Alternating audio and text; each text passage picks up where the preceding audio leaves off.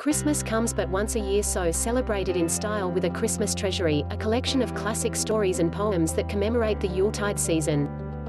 Abundantly illustrated with the work of Arthur Rackham, Mary Cowles Clark, Alice Ercle Hunt, and other titans of the golden age of illustration, the book features the full texts of Charles Dickens's A Christmas Carol and L. Frank Baum's The Life and Adventures of Santa Claus, as well as stories by Louisa May Alcott, Lucretia Hale, Harriet Beecher Stowe, L. M. Montgomery, Mary E. Wilkins Freeman, O. Henry, and William Dean Howells.